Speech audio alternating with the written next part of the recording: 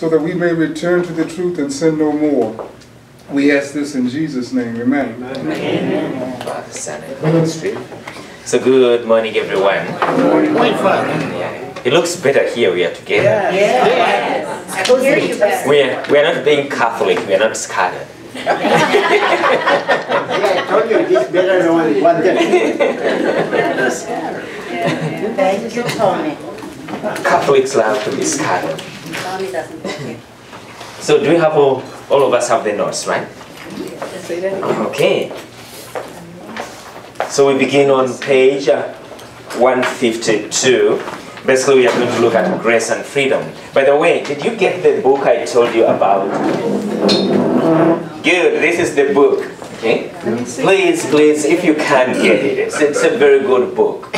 Okay. And of course, the picture says it all. This picture here, the godless delusion. The man is sitting on a branch up in, on the tree and he's cutting it. He's cutting the branch on which he's sitting. okay? okay? He's very wise. You are sitting on a branch and cutting it. Okay? I had to order it. It shows that you you are not thinking. You know, you depend on God and you say He doesn't exist. Okay? So it's, it's a very good book, please buy. It's not heavy reading. It's it's uh, it's yeah, it's understandable. So it's a, it's a, it's a very good book. It helps us basically to put things in perspective because as Catholics, oftentimes we don't know how to rebuttal atheism. Well, even Protestantism, but more so to the atheism. Their arguments look on the surface very intelligent, but once you basically analyze everything, their arguments are very foolish. Okay? There's no intelligence behind it. They think they're very intelligent people. It's in this book where they give basically that example of uh, you know, printing press explosion and things like that. It's, it's well written. So it helps us to see the shallowness of atheistic arguments. Atheists every day live in contradiction to their own teachings. Can you go back over there so the camera can get you? Bill? The godless delusion. Yeah, they can see it. um, So yes, please. Yes. Yeah. So this this this book is, is very good. The authors are Patrick Madrid. Most of us know him. I don't know this other one, Kenneth Hensley. Yeah, Kenneth Hensley. It's co-author. From his little biography in the back cover, inside back cover, Yeah. he's written a lot too. Yes, he has written, but I've never heard of him. But it's a, it's a very, very good book. Remember, this is in reaction to um, Dawkins' book, which is The God Delusion. Okay? Dawkins, and you know, in his book, uh, he calls himself a very intelligent man, Dawkins. But when you read his book, The God Delusion, it's a, you don't see any intelligence behind the book. But when you read this book, you see that these are solid people who know the atheistic arguments. They put it very well, the naturalistic argument, the arguments of the atheists. And then they start tearing them apart one by one. Okay? So it's very good to have this book, The Godless Delusion. Hmm? And the man is dressed so well. he looks like a nice guy, you know, intelligent, but he's extremely dumb. okay. okay. So it's, it's, it's a good book. Okay, now we are going to look at grace and freedom. So grace is God's gift given to us to basically influence the will. So if the will is influenced, is the will free? Yes. No, Yes. Depends on who's influencing it. Thank you. So that's what we are going to get into. okay? Because remember a man called Pelagius, okay, who said that we don't really need grace okay, as something internal to act on the will. Because if grace acts on the will to influence it, then the will is not free. So he said all we need is the gift of free will to do God's will. But remember what we said about that is this that God's grace is supernatural and the free will is a natural gift. So you cannot use a natural thing to basically receive something supernatural. You need to be uplifted, to be given a supernatural gift, life, in order to receive supernatural gifts. Okay, so Pelagius was wrong. So that's uh, in line with what we're going to look at today grace and freedom. The question we're now asking, the question we're now asking is to what extent the human will remains free under the influence of grace. We proceed by asking three questions. Number one, can grace be truly sufficient and yet inefficacious? That if God offers us sufficient grace, can that grace be like in vain if it is sufficient? No, Yes. it's your choice. Okay, so number two. So basically understand the questions very well, okay? Okay, so number two. Can God bestow graces which antecedently are infallibly efficacious? Yes. Yes, because he can do that. So the question would be then, if they are antecedently infallibly efficacious, so is the will free? Yes. Yes, if God has antecedently determined it to be efficacious, infallibly. Yes. yes. Okay. How does the human will remain truly free under the influence of efficacious grace? God has already determined that it's going to be efficacious, it's going to bring about its effect. So is the will free in operating under those circumstances? So those are the questions we're asking. So can grace be truly sufficient and yet inefficacious? The reformers, mhm, remember the so-called reformers, we call them reformers historically. Okay? But they are, in terms of the faith, they were actually deformers. They deformed the faith. So in terms of the faith, there's nothing you can refer to as reformatory about what they did. Now, during that time, there were good people who did good reform. But historically, they are not the ones we call reformers. Okay? The people we call reformers are Martin Luther, Calvin. who else? Calvin, Calvin. Zwingli. Okay? They are the people we call reformers. But when you look at their teachings, they deformed the faith. So we just call them reformers historically, but in actual fact, those three didn't reform the faith in any way. They basically deformed it. So the reformers and Jansenists denied the grace that grace can be truly sufficient and yet fail to win the consent of the creature. Their view was that grace, if it is truly grace, always brings consent.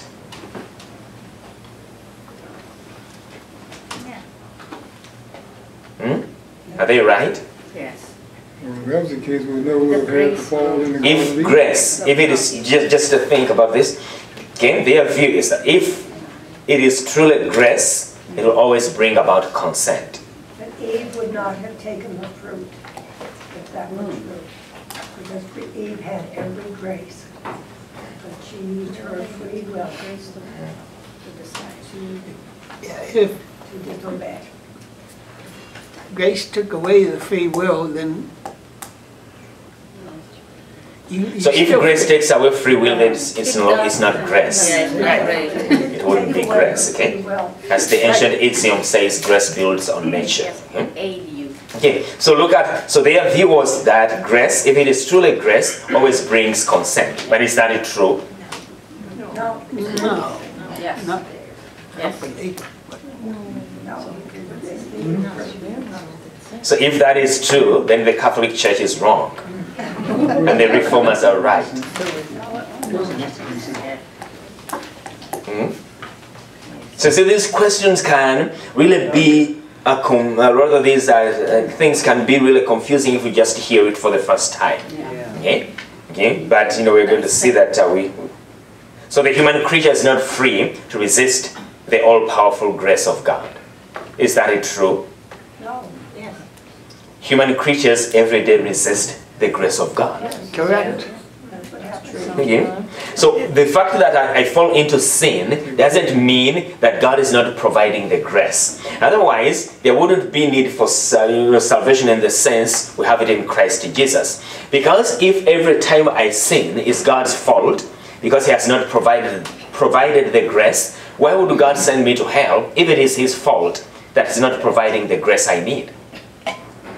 God, I'm sinning, but you know, you, you didn't, you didn't deliver, so Not my fault. it's not my fault. You see the danger of looking at things from this. So, so, so in from this uh, point of view, Lutheran point of view, Martin Luther, whatever Zwingli point of view, you can sin all the way you want, any way you want, but there will be no consequences. Why? Because it's not your fault. It is the devil's fault. The devil got to you before God. Mm-hmm. He beat God. If you do good, it's really not your credit. God is doing it because He came first. He beat the devil.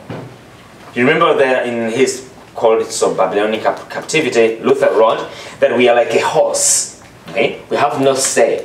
If it is early morning and the devil comes first and mounts the horse, then I will do evil. If the next day God comes first, I will do good. But I have no say because I have no free will. Why? Because original sin totally destroyed free will. That will be Luther's point of view. But we said no. Okay? Because why did why didn't grace destroy free will? It weakened it, okay? You know, distorted it, but it didn't totally destroy free will. Why? Sin, original sin, did not destroy, totally didn't destroy free will. It weakened it, okay? Distorted it, but not fully destroying it. Why? Because it was a gift. Pardon? It was a gift. Free will is a gift. God. Yes. Mhm, And no, the question is, we said the Catholic Church Luther taught that original sin totally corrupted free will, and the Catholic Church says no. Original sin did not totally corrupt free will. What did original sin bring about? Yeah. It brought about loss of sanctifying grace. Okay, what is sanctifying grace? God's likeness. It's a sharing in God's. Basically, God's life. Okay. So that's what we lost. So why didn't the loss of sanctifying grace totally corrupt the human will, free will? It's very important to remember these things, okay? The basics. The reason is free will is a natural gift and a sanctifying grace is a supernatural gift. So loss of a supernatural gift does not necessarily result into loss of a natural gift. Okay? So that's why the Catholic Church teaches that free will was not totally corrupted by the loss of sanctifying grace by original sin. Because when we, our parents sinned, they lost the life of God, to which basically they didn't have a claim. Okay? It wasn't natural. It was a supernatural gift. So the natural gifts remain. That's why you re- re- recognize that people like even atheists, okay, people don't believe in God, even the most evil people, they, they still have the gift of reason. They still, still have the gift of free will. That's why the church encourages us to preach conversion to them. Because they still have those natural gifts, okay, which can be influenced, assisted by grace to turn to God. Otherwise, if that were not the case, if some, someone is in mortal sin or a pagan, there's no need to preach to them. Okay? By the way, does the church have an active obligation to convert Jews? Yes, yeah. yeah. God said, you have to preach the gospel. Hmm? Jews and Gentiles alike. There's an obligation to teach. Have, you. Have you, some of you have, uh, have you seen the, uh, the document which came from, you know, the Vatican? It was just, uh, they, they call it um, a dialogue between Catholics and Jews. Have you heard about it I've heard about it. and what it says? I'm not what it says. Okay. So does the church have an active? It's good that I remembered that. does the church have an active role to convert Jews? Teach, To convert. to convert. Well, Yes. everybody The who key doesn't word believe is in Jesus. Christ, it's our responsibility as uh, Christians to at least convert people. So where do you go for? Where do we go for answers? Paul, You, Google Church. Google. Paul, instruct to admonish, not convert. you go to Google. okay, let's look at scripture. What scripture says?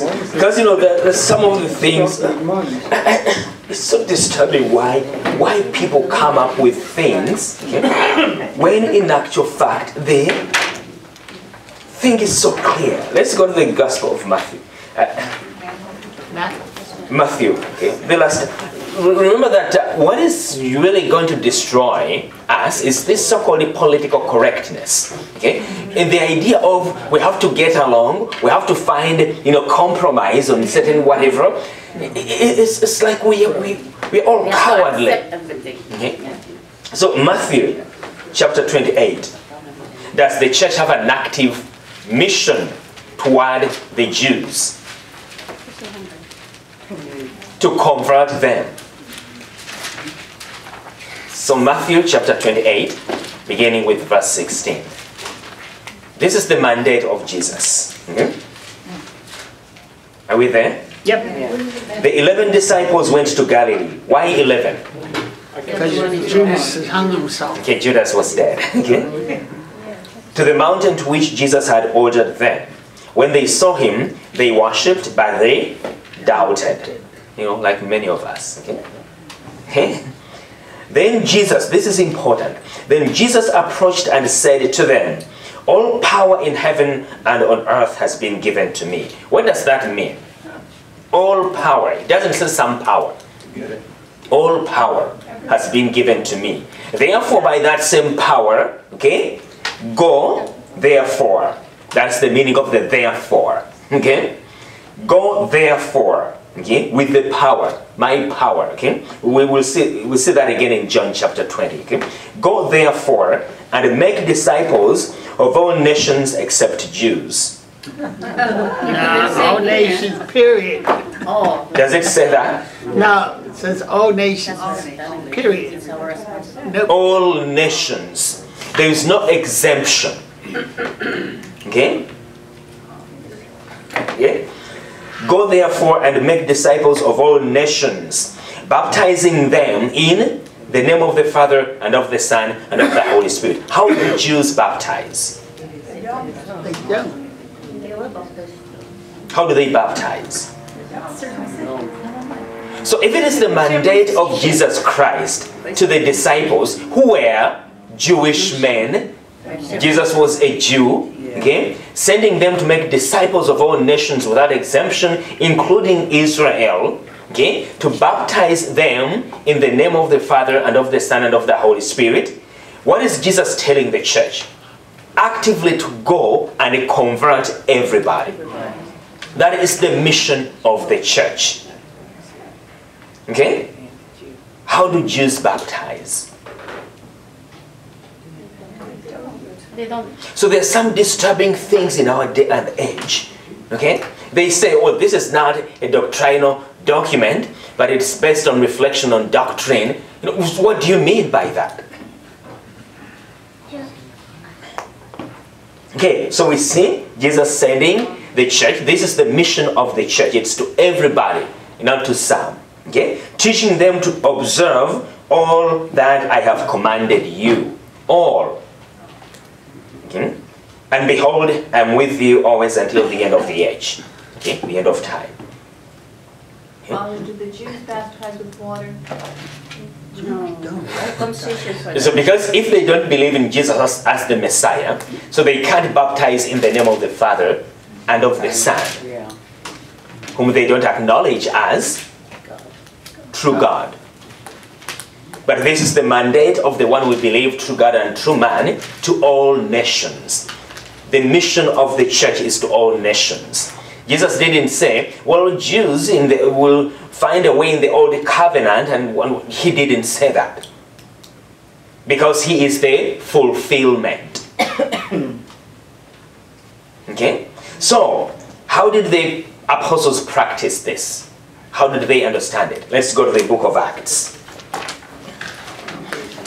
So when you hear things, okay,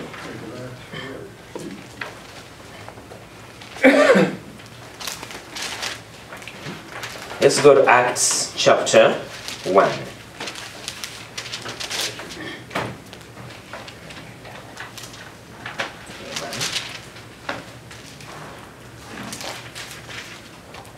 Are we there? Okay. so chapter 1, let's begin with verse 14.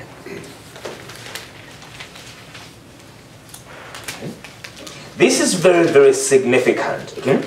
That's why St. Augustine, every time, and of course other people like St. uh, Irenaeus, every time they encountered you know, people who taught things and whatever, they went back to the basics the word of God. What does God say to us?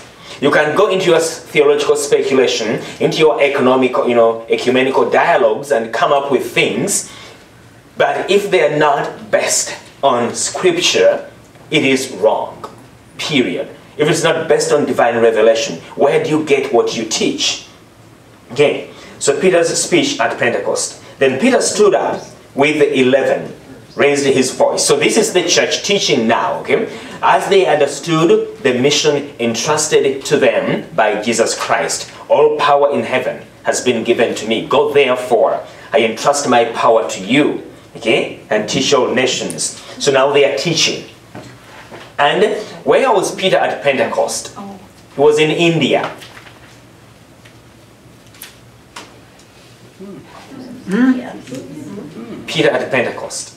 He was in Rome. room. He was in Rome. Yes. No, Jerusalem. No, he was in Jerusalem. Okay? Yeah, So what was this preaching to? To the Gentiles? no, Jews. Okay? So listen, listen, the, the mission of the church, okay? To the people of, Ju- basically, in the Jewish land, okay? They, then Peter stood up with the eleven, raised his voice, and proclaimed to them, You who are Jews. Okay? This is the mission of the church to the Jews. So where this document, guys, I, I, I don't know. You who are Jews, indeed all of you staying in Jerusalem. So that's the setting. That's where he was. Okay? Let this be known to you and listen to my words. This is the authority of Christ. Listen to my words. It doesn't say, uh, no, please, you know, I appeal to you. I mean, eh, okay? There's no apology. Okay? Listen to me. These people are not drunk, as you suppose, but it is only nine o'clock in the morning. Okay? No, this is what was spoken through the prophet Joel.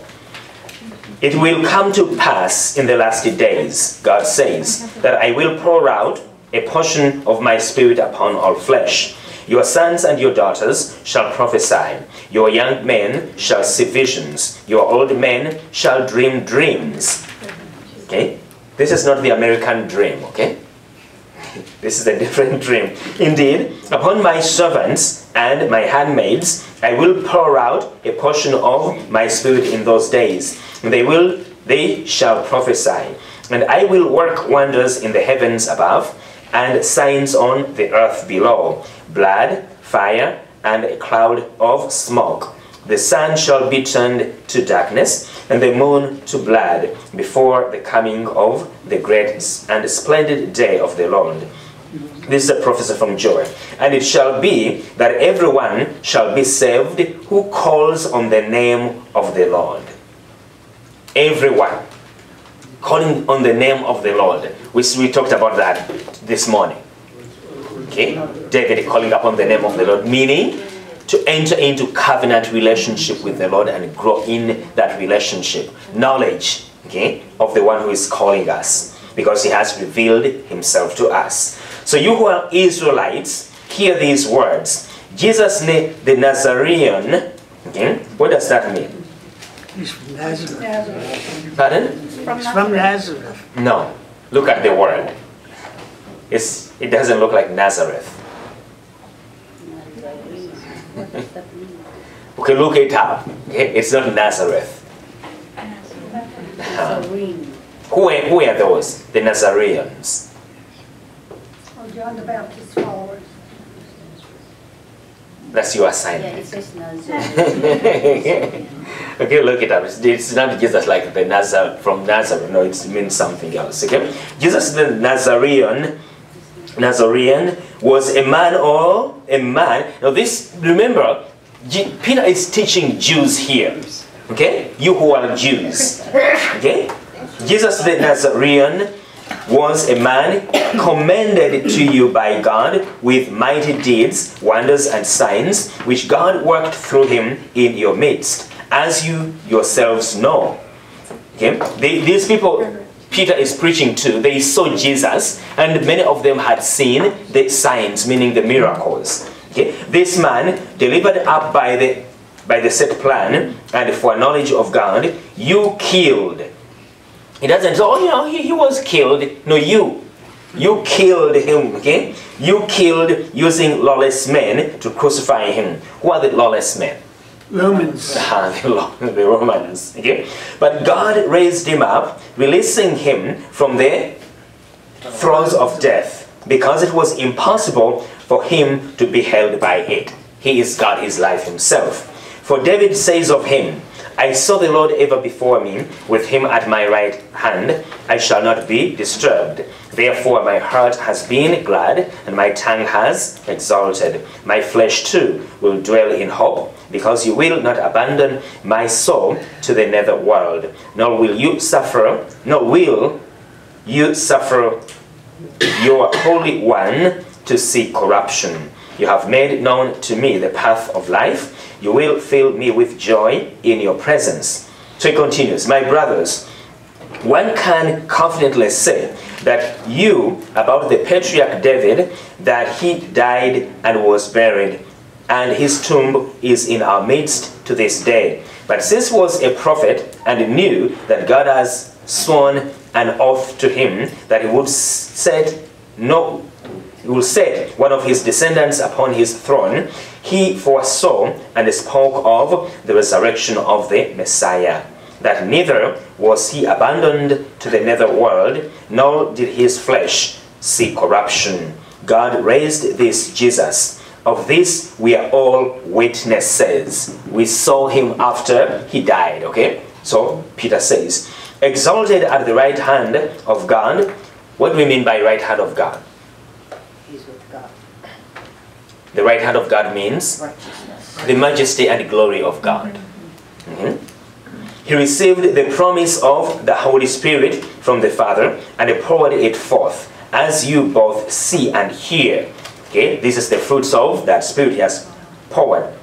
Peter is saying, For David did not go up into heaven, but he himself said, The Lord said to my Lord, Sit at my right hand until I make your enemies your footstool. Therefore, Peter continues, let the whole house of Israel know for certain, okay, there's no doubt, for certain that God has made him both Lord and Messiah, this Jesus, whom you crucified. Now, when they heard this, they were cut to the heart, and they asked Peter and the other apostles, What are we to do, my brothers? And Peter replied, The church has no active mission to the Jews. No. The, the book. Repent and be baptized. What did Peter say? Repent and be baptized. Peter said to them, Repent and be baptized, some of you. Every one of you. Every one of you. Okay? Repent and be baptized, every one of you, in The the name name of Jesus Christ for the forgiveness of your sins, and you will receive the gift of the Holy Spirit. For the promise is made to you and to your children and to all those far off, whomever the Lord our God will call. Amen. So, where do these men get these?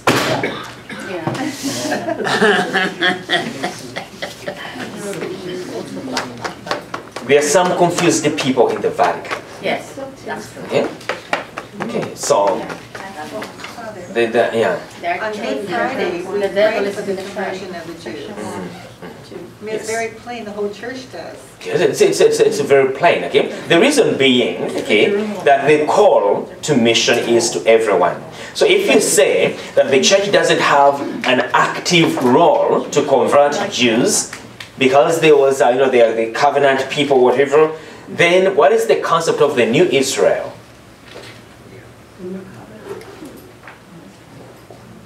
So, uh, so, so this is that's why we need you know to study the fathers of the church.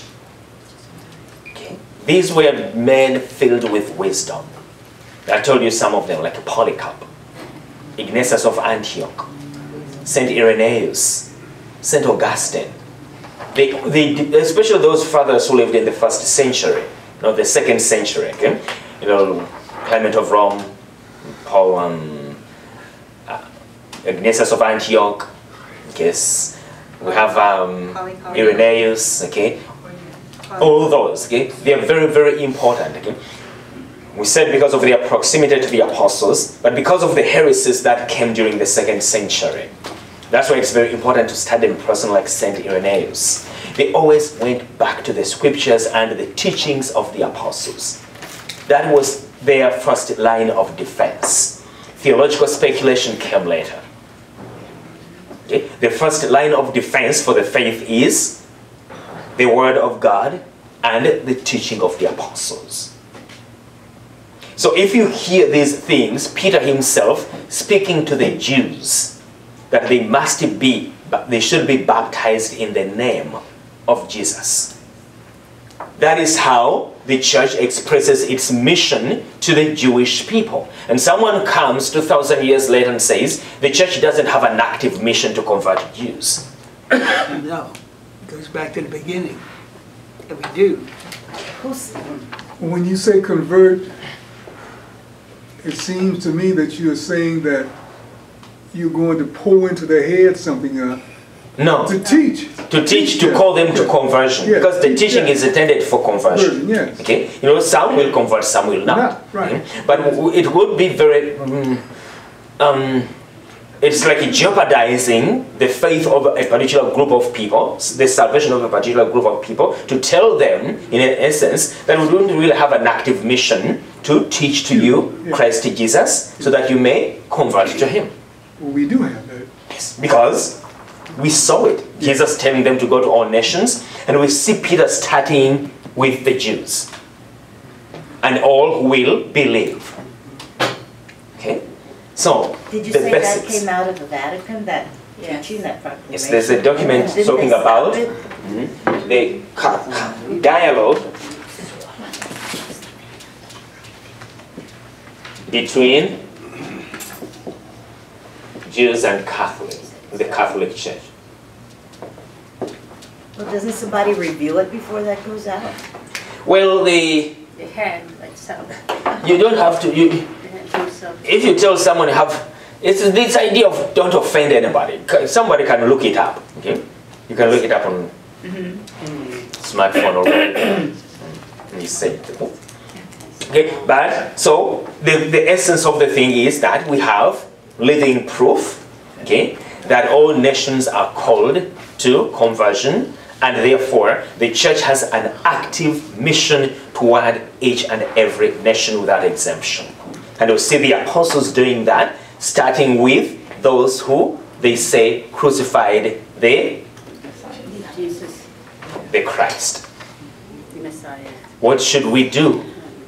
repent and be baptized, each one of you, in the name of Christ Jesus. Okay? So, there is no confusion, there is no doubt. The confusion is brought about by us who complicate very simple things. we love to complicate things for no good reason. It's the work of the devil. It's very easy. It's, it's, it's easy. Okay. So their view, the reformers, was that it's, if, if it's truly grace, grace always brings consent. The human creature is not free to resist the all-powerful grace of God. In effect, they denied that the human will remains free under the influence of grace. Okay, so basically taking it from Luther.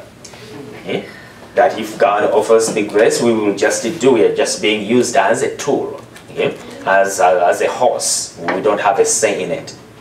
What does Holy Scripture say? So we're going to look at Holy Scripture. Again, we always go back to the basics. Because if you don't start with God's revelation, then where do you start? You're going to commit heresy if you don't start with the Word of God. Okay, this is not philosophy. Okay? This is theology, it's divine revelation. So we begin with a divine statement, not our own thinking. In philosophy, we may begin with our own thinking. Okay? That's what philosophy is. But theology is we begin with a revealed statement, a revealed Word of God. So, so the question, is the same question. Where did these men get this? Okay. To say that if it is truly grace, it will always bring about consent. The human creature is not free to resist the all-powerful grace of God. Where do they get this from? From their thinking. their own thinking. Okay? From their own thinking. Is that really what God says? Mm-hmm. Okay. So that grace can be truly sufficient and yet without effect is shown by the fact that Scripture complains that humans fail to repent, even after God has supplied them with abundant help. Okay? So where do we go? Let's uh, go to Isaiah 5. Let's begin there. That's a classic know, text, Isaiah chapter 5. Beginning with verse 1. The Song of the Vineyard.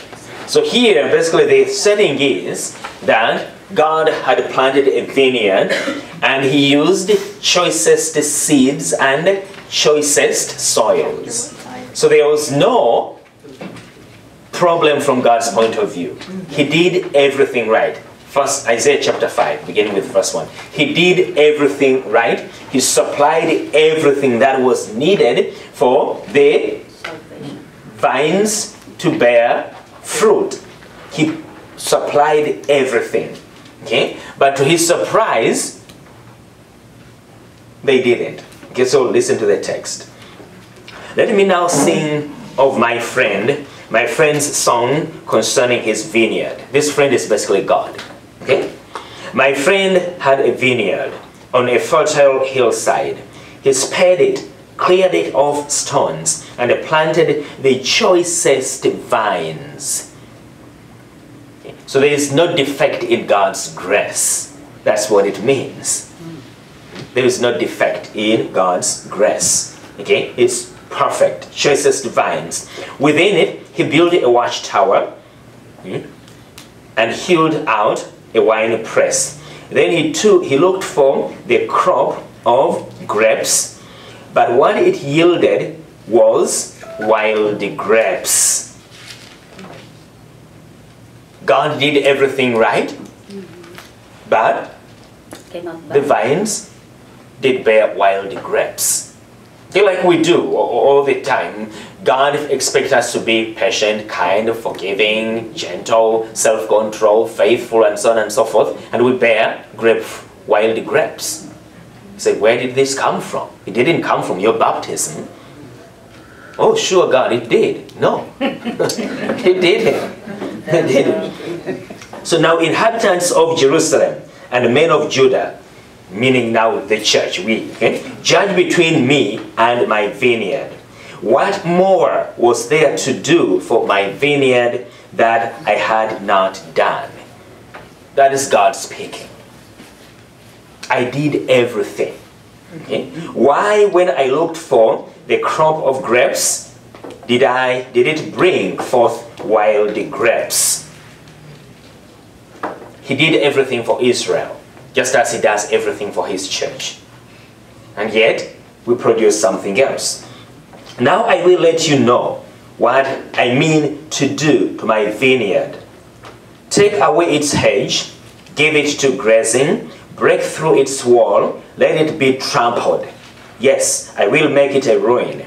It shall not be pruned or hauled, but overgrown with thorns and briars. I will command the clouds not to send rain upon it. The vineyard of the Lord of hosts is the house of Israel. And the men of Judah are his cherished, cherished plant. He looked for judgment, meaning justice, okay? Judgment, but see bloodshed. Okay, he was looking for justice, whatever, bloodshed. For justice, but hark the outcry. And so on and so forth. Okay, so the wars began. War, war, war to you, war to whatever. So that is a clear indication okay, that God did everything, but because of the will of humans, they decided to do otherwise. So the prophet depicts Israel as a vineyard for which the owner God has done everything possible to make it bear fruit. He cleared it of stones, spared it, spared it, okay? it planted choicest vines, protected it from wild animals. He built a fence around it.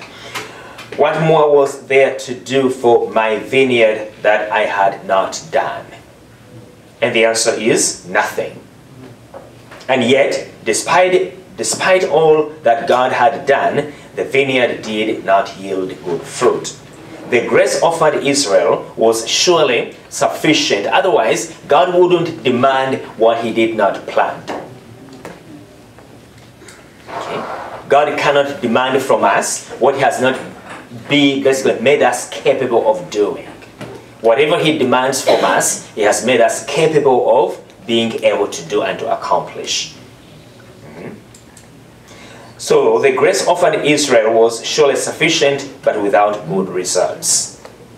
In the New Testament, Jesus reproached Chorazin and Bethsaida. You remember that text, okay? And Capernaum, Capernaum as well, because they did not repent. Now, Capernaum was his hometown. That's where he basically lived. Okay? And they did not repent. Why would Jesus condemn cities he didn't provide sufficient grace to? Hmm? Because they did not repent, even though Jesus had done mighty deeds in these towns, which should have brought the people to repentance. If the same mighty works had been done in Tyre and Sidon, these are pagan cities, okay? The people of these cities would have reformed their lives long before. Clearly, the grace given to Chorazin, Bethsaida, and the Capernaum was truly sufficient and yet without the desired effect. Let's look at the text itself. okay? Matthew 11. So you see the importance of going back to the basics. Because there you get the right answers. So you can't be confused about anything because it is God's teaching.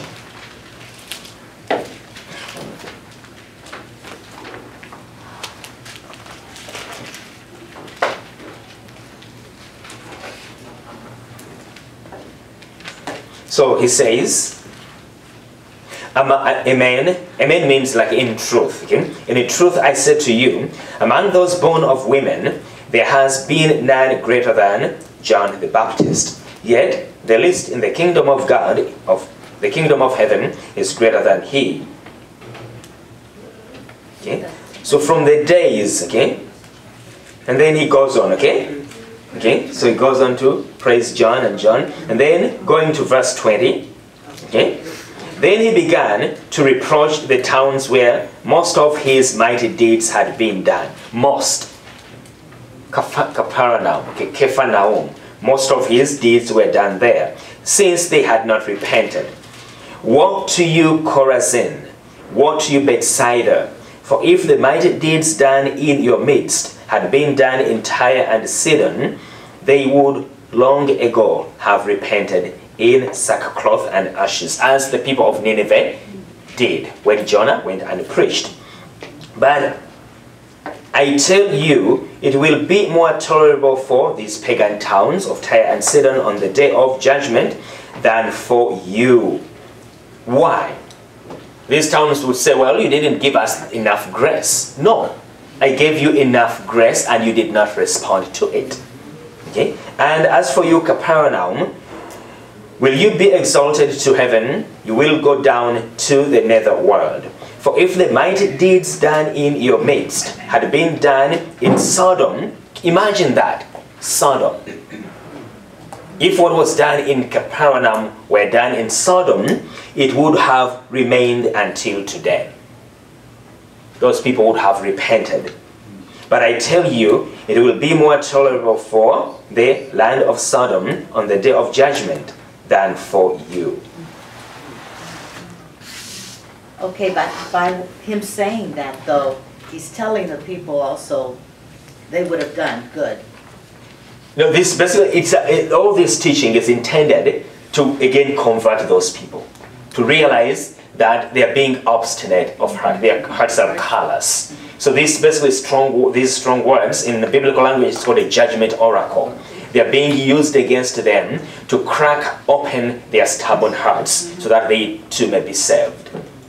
But again, some will continue to resist. Some will crack open, like the people Peter preached to. So what should we do? Their hearts were basically cut open. What should we do? So it doesn't mean that every time a person refuses to repent, that the grace is not sufficient. That God hasn't provided enough for their salvation. So it's God to blame, not the person. No. It's always, the problem is always on our side. God has done everything He needs to do for us and for our salvation. Now it's up to us to respond to the power of His grace. But we have free will. God is not going to force us to do things. So grace is given sufficiently to everyone for salvation. Some embrace it, some reject it, as we see Scripture telling us. What chapter are you in? Um, chapter 11 of the Gospel of Matthew. Yeah, it's, it's there in the notes. Okay? The- Matthew 11, 20, 24. But some people argue that God knows our will even before we know it, right? Mhm. So, um, like, well, I know, I know I have free will, but, um, said, well, I'll do, you know, God knew I was gonna God knows the way He made us. But you don't know, Yeah, God knows the way He made us. Yeah. Yeah, and He knows everything. yeah. Okay, because He sees instantaneously, contemporaneously, you know, everything. He knows everything. Uh-huh. Okay? And He knows us. And that's why He offers the grace for our redemption. Okay? You know But- we're gonna choose wrong? We are going to see that. It's, it's in the notes. It's coming. Yes, it's coming. But at the bottom, the thing is that He knows us so well. Mm. Okay? As He tells Jeremiah, even before I formed you in your mother's womb, I knew you. So there's nothing that takes God by surprise. Okay? He knows everything. But the way He made us is who we are as human beings. If we didn't have the gift of free will, we wouldn't be human beings. So that is the gift of being human. But as you know, that we take the greatest gift God has given to us and we abuse it. Now, the abuse of the gift doesn't mean that the gift is not good. It is free will is very good. It's what makes us truly human. But unfortunately,